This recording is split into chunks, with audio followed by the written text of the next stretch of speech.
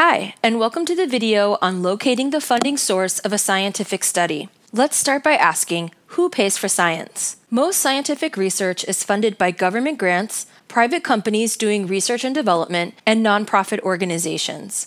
As a society, we support science every day through the taxes we pay, the products and services we purchase from companies, and donations we make to charities. In a perfect world, scientific studies would be completely objective, but unfortunately, money and funding introduces the possibility of bias. For example, a pharmaceutical company paying for a study of a new depression medication may influence the study's design or interpretation of the findings to subtly favor the drug they are trying to market. It's important to scrutinize the funding of studies to identify possible biases. This leads us to the question how do you find the funding source of a scientific article? Sometimes the authors will be explicit and identify the funding source in the text of the article. Usually, they will list it at the top or near the bottom of the article. There may even be an acknowledgement section that lists the funding. Other times, it can take a little more digging, and even then, you may not be able to find it. My first example is from Advances in Nutrition. The article is about tea flavonoids and the impact on cardiovascular health. I found a section on the second page of this article that states the funding is provided by a grant from Unilever to the Think Healthy Group.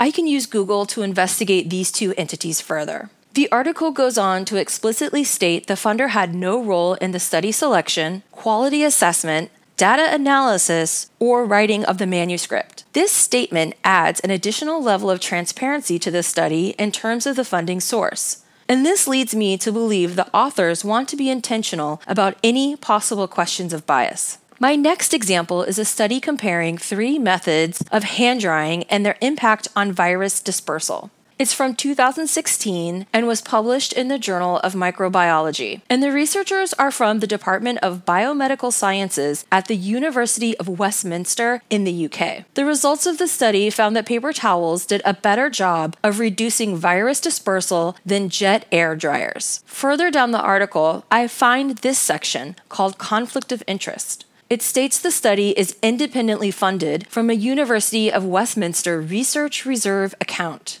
However, it goes on to note that one of the authors received an honoraria from the European Tissue Symposium. I'll use Google to investigate this group more.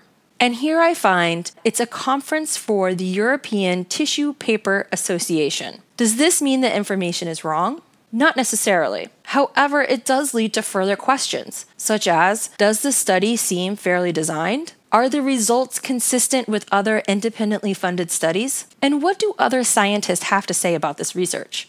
I'll investigate these questions further using Google Scholar, a great tool for tracking the progress of scientific debate through the use of citations. I'll search for the title of the article and look for the cited by link. In this case, my original article has been cited by 15 other publications since 2016. I can click the cited by link to get a list of those 15 publications. It is the sixth entry in the list that catches my attention because it is a review study, or a study that compares the methods and results of different research articles reporting on the same topic. This article concludes there is little agreement regarding the outcomes, and it has its own statement declaring conflict of interest, to which the authors state there is none.